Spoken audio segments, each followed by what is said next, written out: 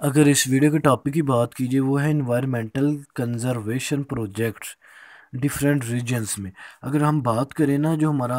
First top है, वो है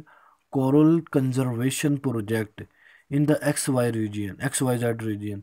ये जो था ना प्रोजेक्ट वो फोकस करता है प्रोटेक्टिंग और रिस्टोरिंग कोरल रीफ्स जो कि नॉट एक स्टनिंग इकोसिस्टम है बट ये वाइटल है मेरीन बायोडाइवर्सिटी के लिए।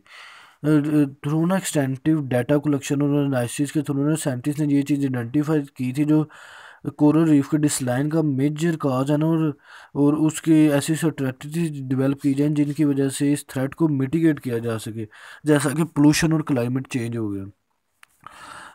एक रीजन में ना ए बी सी रीजन में एक रिमार्केबल रिफॉरेस्टेशन इनिशिएटिव लिया गया था। थाउज़ेंड ऑफ़ ट्री ना प्लांट किए गए थे ताकि ना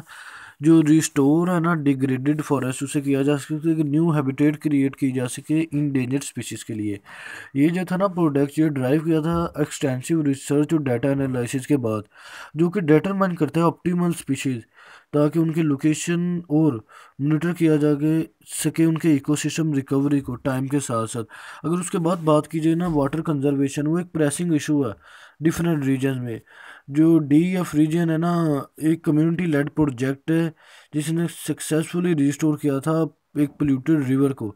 उसकी वाटर क्वालिटी को इम्प्रूव किया था और सेफ़ गार्ड किया था लोकल कम्युनिटीज़ की हेल्थ को। थ्रू साइंटिफिक स्टडीज़ और डाटा एनालिसिस के ना उन्होंने ये बात को आइडेंटिफाई किया था कि जो सोर्स ऑफ़ पोल्यूशन है ना, और इम्प्लीमेंट किया था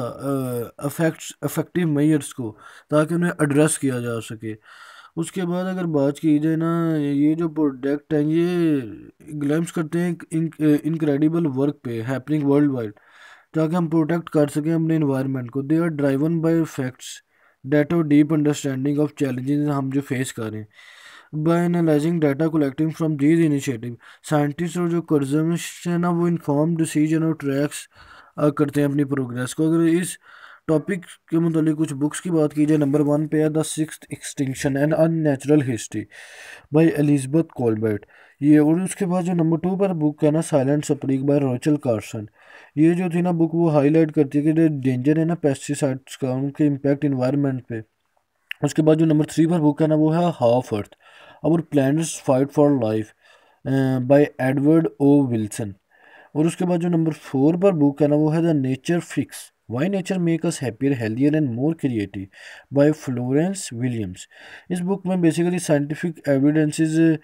की बात की जाएगी है जो हैं बिहाइंड द नेचर जो कि हमारे ओवरऑल वेल बींग में, और, ये बुक ना हमें इस चीज़ की भी इंसाइट प्रोवाइड करती है कि हम कैसे रिकनेक्ट कर सकते हैं अपने नेचुरल वर्ल्ड के साथ।